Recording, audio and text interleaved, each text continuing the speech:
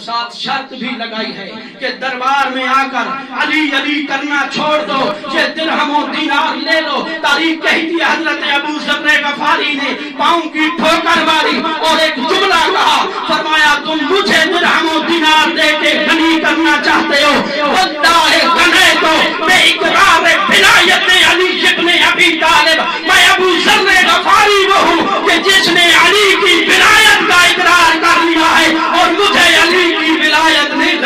मिलेगा